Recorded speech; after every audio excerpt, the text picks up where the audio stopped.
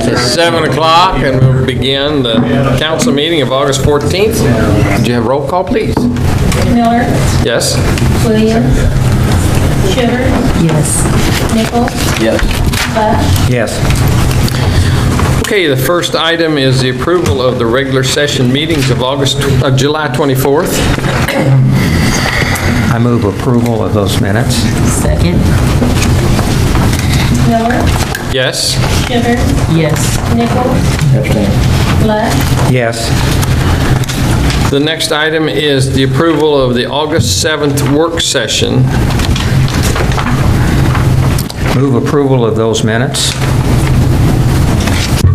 Or the, yes, the minutes from the work session. Mm-hmm. Oh, second? Miller, Yes? Shivers, Yes. Nichols. Abstain. You were there. You were there. Vote on that. Yes. Okay. Yes. That's why I didn't second. Yes. The next item, we're going to open a public hearing for the annexation of Smiley Drive. And Mr. Slagle, Do you have a motion to open? need a motion? Yes, I need a motion to open that. So moved. Second. Miller, Yes. Shivers, Yes. Nichols, Yes. Lush, Yes. Now, Mr. Slagle. Okay. Um, Smiley uh, Drive uh, is a city street that was never annexed into the city limits. And so uh, this will start that process. So uh, Rita, would you uh, cover the details and the portion of the street that uh, we are looking at?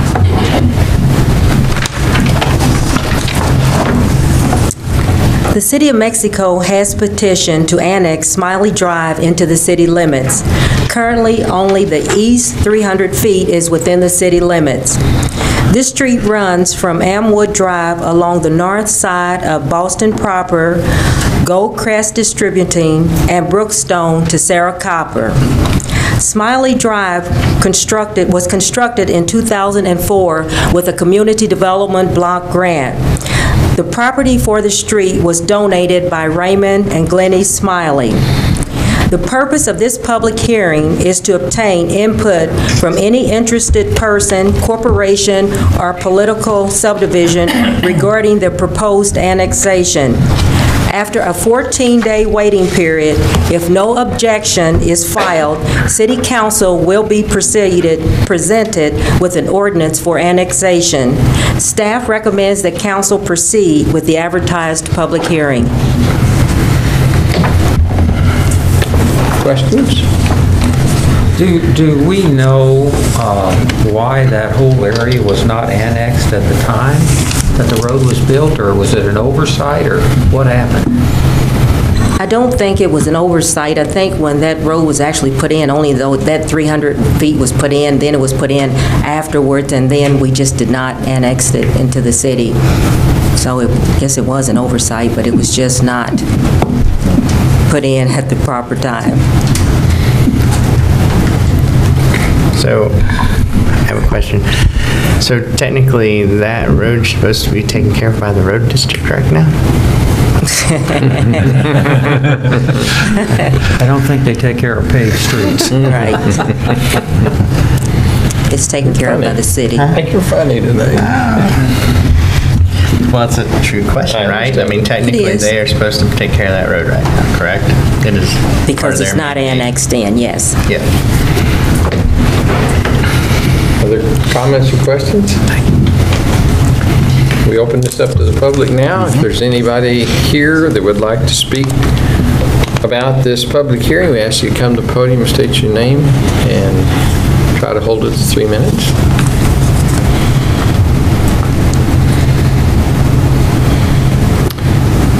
If there's no comments, uh, do we need a motion to close it? Need a motion to close the public hearing? Second.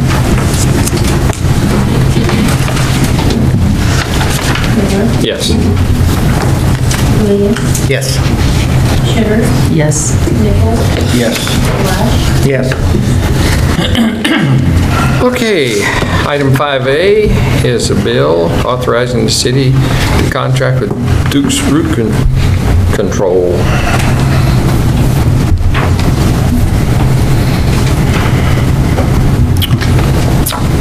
Anybody, want- do you want me to read the whole thing for you? For chemical root control in the city sanitary sewer collection system, reading and passage. Okay. Mr. Slagle. This is uh, part of our uh, annual maintenance on uh, the sewer collection system. To cover the details of this resolution, what we're asking for, we'll turn to Kenzie Russell. We have used Duke's Root Control for uh, the last couple of years. Uh, that It is a proprietary uh, system uh, that uses a foaming chemical, so it reaches all around the pipe, catches the roots that are hanging down, as well as those that might be coming up from the bottom. Perhaps most importantly to us, uh, it does not uh, have a copper compound in it, and so we're able to get root control and not add anything uh, by way of copper to our uh, system. Uh, is a cooperative purchasing uh, group. Uh, They bid root control. Uh, We are a member of that uh, co-op, and Dukes has uh, provided through Buy Board a contract that is about 13% less than their normal uh, catalog prices, and so we believe it's a, a good price as well as uh, being uh, one of the few systems on the market that does not contain copper. And for those reasons, we're recommending uh, the contract with Duke's Root Control for chemical control. Do you know approximately how long this lasts once it's uh, put in the root system? Is it a It has, five-year it has fix a or three, 10-year? it has a three-year warranty on it, and they do come back after approximately 18 months and re-inspect. If roots have started to grow back, they will retreat at no charge. How much does this cover? Uh, This will cover about four and a half miles of sewer line. This contract. What's the, the biggest, you're gonna get started with the big pipes and work your way down, or how's that gonna? Uh, We we have um, both some 18-inch pipes, uh, some of the uh, Lafayette trunk sewer that we TV'd, uh, that we found uh, roots in, uh, is included down to uh, some of our 8-inch lines in residential areas that have larger mature trees. Uh, One of those areas is uh, uh, in the Dorcas Lane uh, Plunkett uh, uh, Lake area. That same area will, uh, is scheduled for some slip lining as well, but uh, we need to eliminate the roots before we slip line, so. But it doesn't actually eliminate, it just kills your roots. It kills them back, uh, it uh, uh, actually will kill them back to a point uh, four to six inches outside the pipe diameter.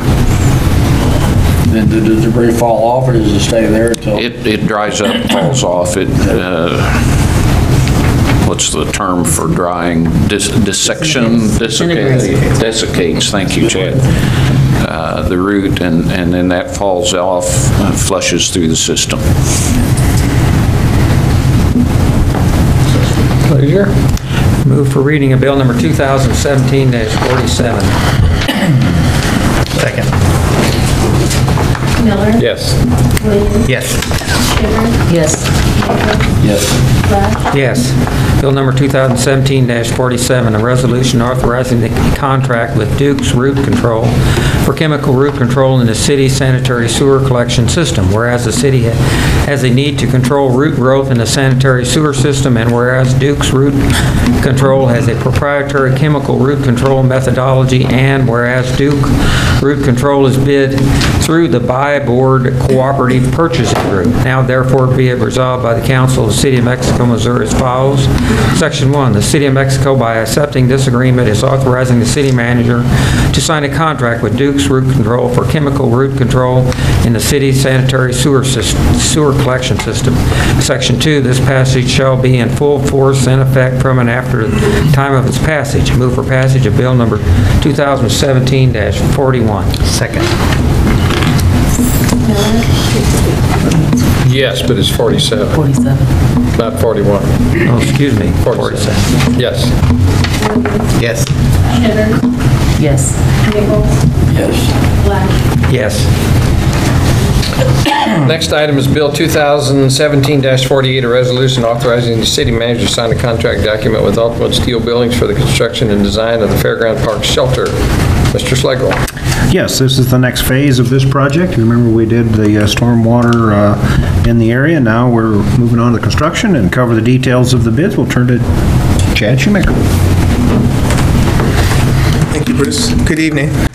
Uh, Advertisement for bid was placed in the ledger, and uh, design of the building for uh, Fairgrounds Park Shelter was uh, mailed to 16 contractors, It was placed on the city's website. We opened bids on August 8th, and we received five bids. Uh, Ultimate Steel Building in Mexico, Missouri submitted what we considered the best and low bid in the amount of $56,731.64. Um, You'll notice we left the concrete supply in as an option because not all the bidders were able to supply both pieces, but uh, this particular piece did supply both pieces at a very good price.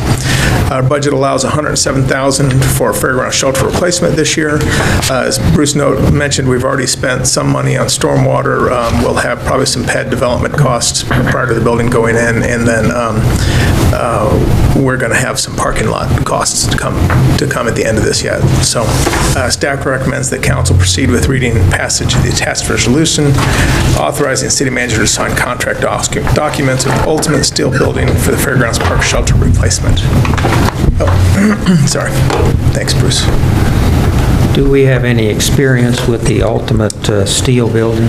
No, Ron, we don't, um, but uh, they have built quite a few buildings in the immediate area. They are a a local vendor, and um, um, these buildings are actually constructed here, um, just outside of town, so um, we were happy to see two local bidders on something like this. Great. Thank you. Site map is on the smart board review. This is site map you've seen pri- previously. It's just west of the swimming pool. Yes, sir. Pleasure of the board. I move for reading of bill number 2017-48. Second. Miller, Yes. Williams, Yes. Shivers, Yes. Nichols, Black. Yes. Bill number 2017-48, a resolution authorizing the city manager to sign contract documents with the Ultimate Steel Building of Mexico, Missouri for the Fairgrounds Park Shelter Replacement Project. Whereas bids made pursuant to the invitation to bid for the design build of Fairgrounds Shelter Replacement Project were opened on August 8, 2017, and whereas it was determined that the bid of Ultimate Steel Building of Mexico, Missouri was an acceptable bid. Now therefore be it resolved by the Council of the City of Mexico, Missouri as follows. Section 1, the City of Mexico, Missouri accepts the bid from Ultimate Steel Building of Mexico, Missouri in the amount of $56,731.64. Section 2, the contract approved is subject to RS Missouri .295.675 requiring the contractor to utilize employees on-site with the 10-hour OSHA construction safety training. Section 3, the city manager is hereby authorized to execute on behalf of the City of Mexico contract documents with Ultimate Steel Building. Section 4, this resolution shall be in full force in effect from and after the time of its passage. I move for passage, Bill number 2017-48. Second. Miller, Yes. Williams, Yes. Shivers, Yes. Nichols, Black. Yes.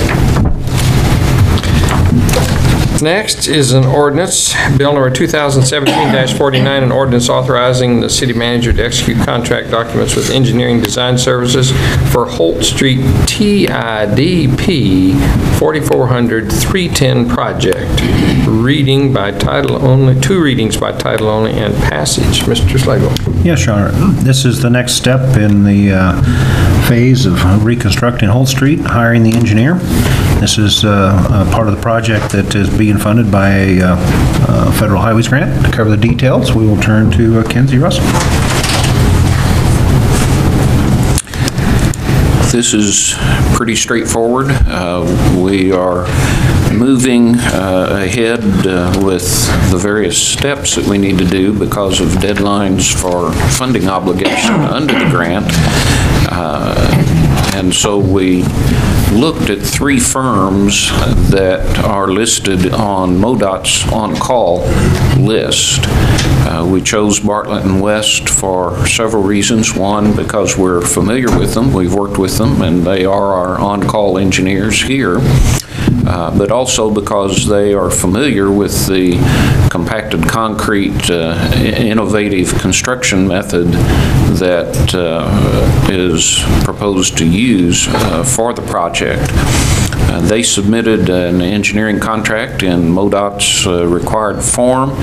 It includes the design engineering, uh, utility coordination, easement preparations, uh, surveying, uh, those kinds of things. The cost is a not-to-exceed uh, cost of $99,882.94. This is within the grant uh, budget amount that was allowed for this work. And so we are asking the council to uh, do two readings and passage of an ordinance. Uh, In addition, uh, Mr. Todd Kemper and Mr. Steve Schultz from Bartlett and West are here tonight in the event that you might have uh, questions of them uh, with Bartlett and West. uh, And so, because this is an important contract to us and to them, they're they're present tonight. I would uh, uh, like to ask about the road itself in terms of when this project is is completed, how long do you think it would, uh, this road will stand up under the uh, heavy truck traffic that it has? Uh, Todd, do you- do you want to give a a design uh, uh, life uh, there? Uh, With the, with the truck traffic, uh, a a normal uh, design would be for a 25-year life. Uh, We hope with the base and with care that we can extend that, as many of our concrete streets here in Mexico are much older than that anyway. Uh, But it will be designed for the truck traffic. It'll be a heavy-duty pavement. I know when, uh, years ago, I heard someone talk about Interstate 70 and how it was built with, you know, eight or 10 inches of concrete, and now it needs to have like 14 to 16 inches or something like that to support the heavy truck traffic that we have. So are we talking about that kind of depth of the concrete? Currently, that is not the plan. Currently, uh, I-70, one thing that's going on there is it's much heavier. It's a lot more traffic and it's also much faster traffic, so you have more impact loads.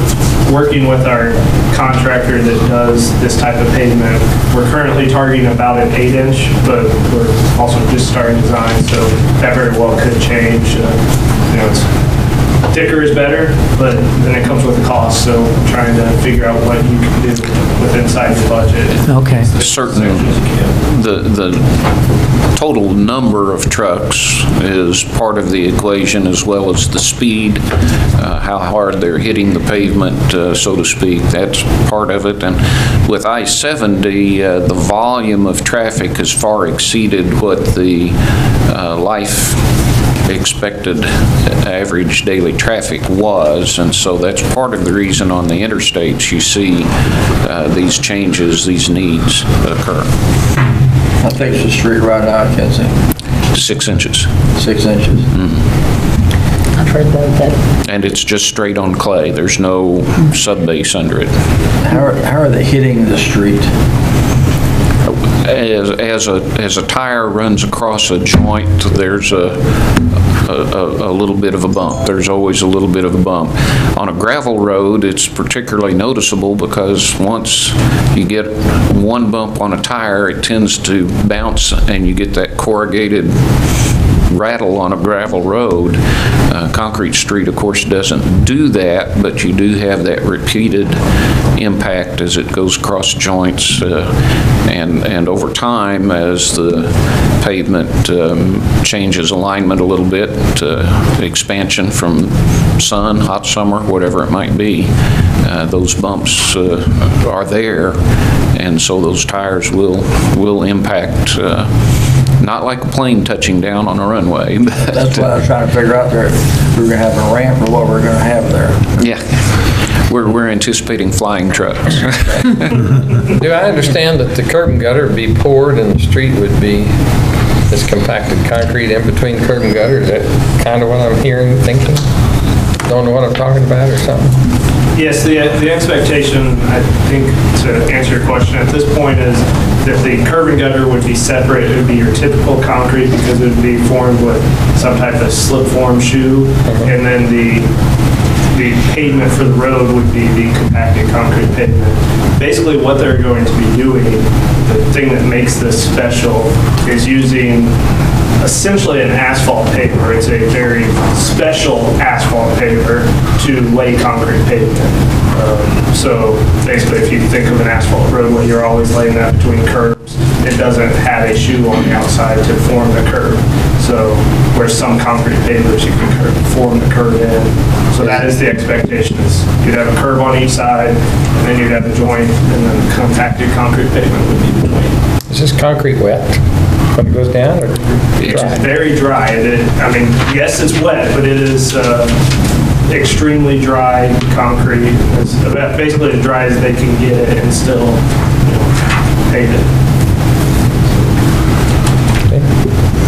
We do have, uh, a, or will be setting up a tab on the city website that'll be a project tab. And so as the project proceeds, uh, information about the project as well as pictures and all will be posted there uh, just for uh, anyone's information to track it, see what's going on. Uh, I anticipate, because this is a demonstration project, that we'll have a, a uh, day uh, when folks will be invited to come see the process, uh, and that would include uh, other local area engineers, MoDOT folks, et cetera. So how long will it actually take to do this? A Couple of days, one day?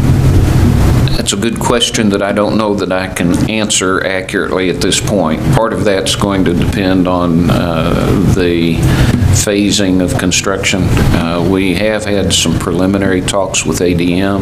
Uh, We know that uh, May and June are their slow months, and so that would be the best time to try to fit it in.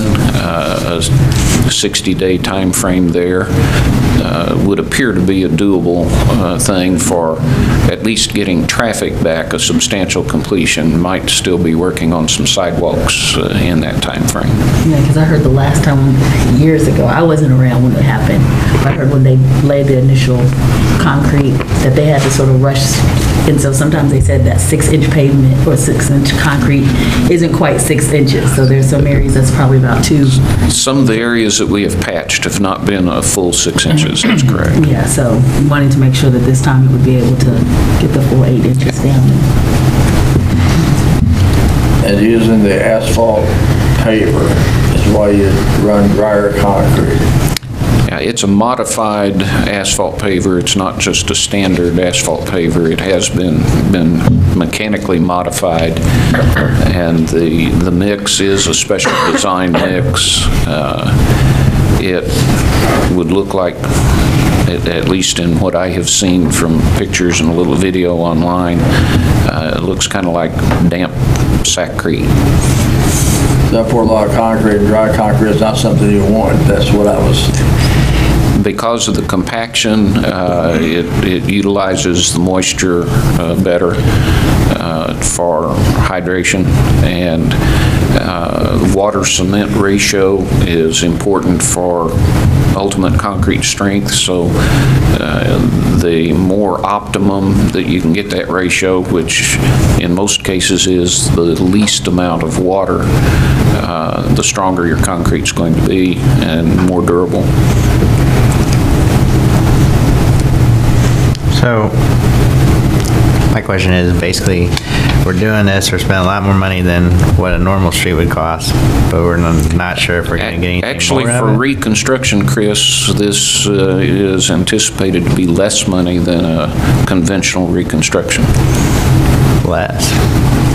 The, the uh, costs that we had from project in, I believe it was Wichita, and at uh, the Caterpillar plant, was that in Atlanta? Uh, It actually was low bid compared to asphalt and conventional concrete both. Yeah, the price that our contracting partners that do this have, have given us we- is basically a very comparable price to asphalt. And even, I mean, concrete should definitely last much longer than an asphalt street. So cost-wise, it, it was pretty equal, and then this was the only way to get an eighty percent grant, so we felt like, yes, it's an innovation project, so it, it does have concrete types that haven't been used a ton, but where they've been used, it seems pretty successful, and you can get eighty percent paid from what seems to be about the exact same project cost. Does it have re- rebar stands in it and rebar like a highway? No, typically, concrete pavement now does not have reinforcement in it. It has reinforcement at the joints, and using this paving machine, there, there are much less joints, so it will not be a reinforced concrete pavement. That- That's one of the areas of cost saving is fewer joints, uh, fewer steels necessary. When you see a highway getting paved, they have these little bridges every so often, And then they got all the, At each joint, uh, they have, it's a load transfer. Uh, Those green epoxy-coated dowels are intended to transfer the load from one slab to the other slab where that joint is. pleasure of the board. Council. I move for reading bill number 2017-49. First reading. Second. Miller, Yes. Williams, Yes. Shivers, Yes. Nichols, Yes. Flash, Yes. Bill number 2017-49, an ordinance authorizing the city manager to execute a contract document for engineering design services for Holt Street TIDP 4,400-310 project. Move for second reading of bill number 2017-49. Second. Miller, Yes. Williams, Yes.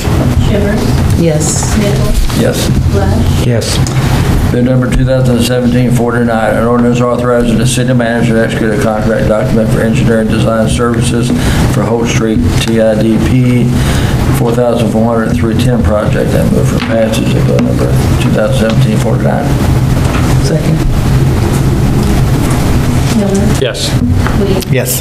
Shivers, Yes. Nichols, Yes. Flash, Yes. Next item would be the payment of the claims. Make a motion to pay the bills? Second. Miller, Yes. Williams, Yes. Shivers, Yes. Nichols, Yes. Flash, Yes. Next item is comments, uh, first by the council. Uh, Ron, you're first up. Okay, um, just want to reiterate the, what I've heard from uh, people in the community, and then really glad to see us uh, go to work on Holt Street. I know we've talked just a lot about it tonight, but that's an important project for our community. It's kind of been a eyesore for all these years, so it's good that we're finally getting some done, and people in the community know that. So, thank you. That's all I have. Mr. Williams. Um, I'm just gonna say that um, I'll second what Ron said, and uh, also I saw you got the little flyer there, so I invite everybody to come out. The ribbon cutting for the tennis court and the pickleball court is Thursday, so, and I love that project because um, it didn't, as a city, worked with individuals in the community, and I think in the future, that's how you're gonna have to work together to get things for any community, so come out and do that, that's all. I'm also glad about Holt Street. I wish there was some way we can magically could put the road somewhere else. But uh, that was, coming out on Green Boulevard was always a problem. But other than that, that's it. I really don't have anything to say. I've said it all. I know how that seat feels. I think sometime I'm going to start down here and go this way. Yeah, mix it, mix it up. Mr. Slagle. Nothing at this time, Your Honor.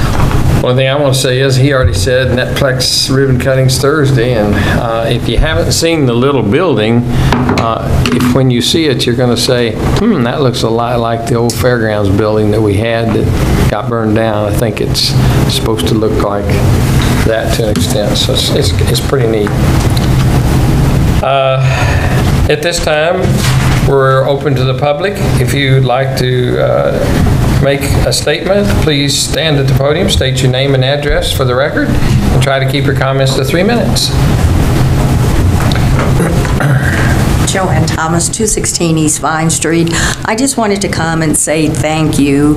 Uh, You all may not be aware, but Rita Jackson and Public Safety, Animal Control, City Inspector, and I'm not sure who else, uh, assisted with a house at 605 East Park, which is, was in poor condition, trash everywhere, insects crawling, critters in the house, and uh, after much concern and phone conversations, something was done about the house. So I just wanted to come and say uh, thank you, because we own uh, property at 603, and we're trying to sell that. We had a few people come by interested, but when they looked at 605, no, we're not interested. So I wanted to say uh, thank you.